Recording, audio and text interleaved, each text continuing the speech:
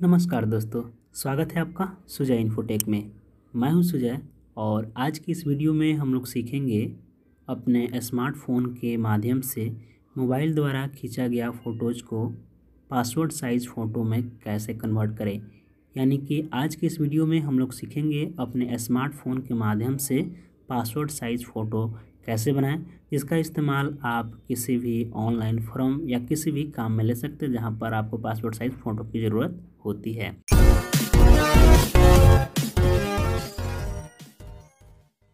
तो सबसे पहले आपको बता दें कि इसके लिए आपको प्ले स्टोर से एक एप्लीकेशन डाउनलोड करना होगा, जिसका नाम है, हम यहाँ पर आपको दिखाने की कोशिश करते हैं। उसका नाम है पिक्सार्ट जो कि अभी आप स्क्रीन पर देख पा रहे हैं, यही वो एप्लीकेशन है। तो इस एप्लीकेशन को आप प्ले स्टोर से डाउनलोड कर लें, प्ले स्टोर पर जाएँ और सर्च करें पिक्सार्ट आपको फ्री में अवेलेबल है, मिल जाएगी। उसके बाद सिंपल आप इसे ओपन करेंगे। जैसे ही आप ओपन करेंगे तो ये एप्लीकेशन आपके सामने कुछ इस तरीके से ओपन होगा। उसके बाद सिंपल आपको इस प्लस वाली आइकन पर क्लिक करने होंगे। क्लिक करने के बाद आपके जो फ़ाइल है वो आ जाएँगे। जैसा कि हमें इस फ़ोटोज़ को बनानी है तो हमने इस फ़ोटोज़ को सिलेक्ट किया। सेलेक्ट करने के बाद यहाँ पर एक आपको एक टूल्स दिखने को मिल जाता है, जिसका नाम है कटआउट इस टूल के माध्यम से इस फ़ोटोज़ का जो बैकग्राउंड है, उसे हम कट करेंगे, यानी कि बैकग्राउंड को हटाएँगे। तो चलिए पहले इसे कटआउट कर लेते हैं। तो हमने इसको सेलेक्ट किया और कुछ इस तरीके से आप वन क्लिक में बैकग्राउंड को इरेज कर पाएँगे।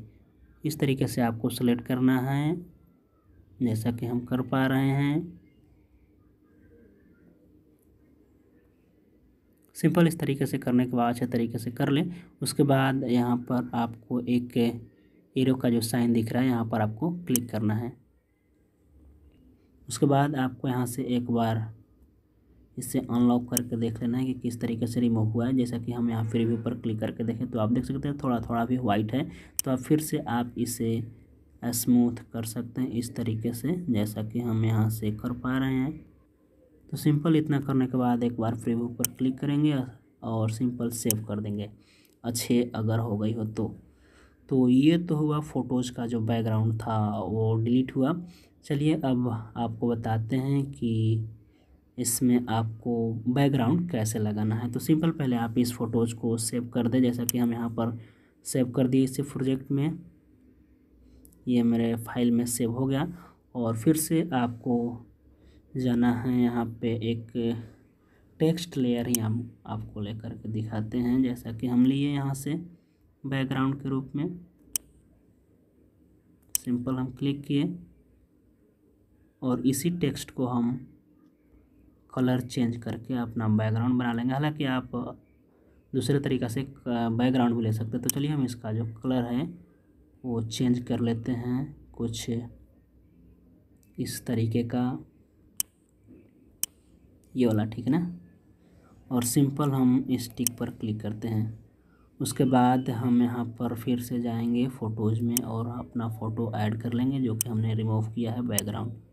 तो आप देख सकते हैं हमारे सामने ये वो, वही फ़ोटो है जिसे हमने अभी ये रिमूव किया है। इस तरीके से आपको कर लेना है। उसके बाद इस टिक मार्क पर क्लिक करनी है।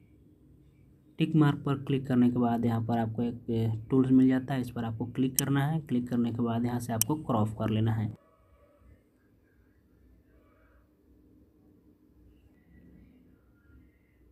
तो सिंपल इस तरीके से अच्छे तरीके से एडजस्ट करके आप इस टिक मार्क पर क्लिक करेंगे तो आपका जो फ़ोटो है वो क्रॉप हो जाता है और आपका फाइनली आपका फ़ोटो बन जाता है। अगर इस फ़ोटोज़ में आप आउटलाइन बॉर्डर लगाना चाहते हैं, यानी कि स्ट्रोक देना चाहते हैं तो यहाँ से आप अपना स्ट्रोक सिलेक्ट कर सकते हैं। जैसा कि आप देख सकते हैं हम यहाँ से सिलेक्ट कर लिया। स्ट्रोक लेवल को हम यहाँ पर टू कर देते हैं और सिंपल इस सेव पर क्लिक करते हैं।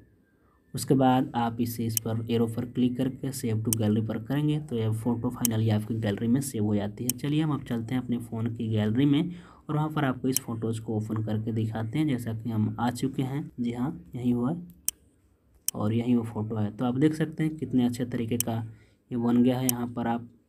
इसी तरीके से आप अपना पासवर्ड साइज़ फ़ोटो अपने फ़ोन पर ही बना सकते हैं। यह वीडियो आपको कैसा लगा हमें कमेंट बॉक्स में बताइए और अब तक भी आप हमें सब्सक्राइब नहीं किया है तो सब्सक्राइब कर अपने दोस्तों के साथ में शेयर कीजिए। मिलते हैं फिर अगले वीडियो में।